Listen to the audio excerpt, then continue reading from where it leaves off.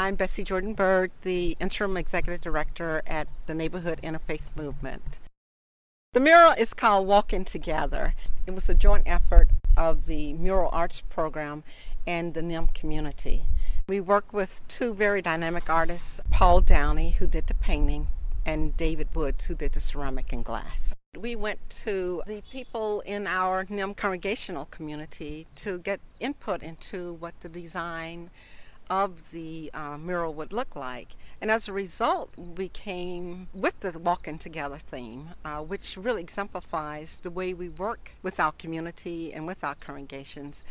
You'll see on the mural that we have uh, plaques from all the congregations that are part of NIM. There are three key words on the mural service, justice, and faith. And those are core values for NIM.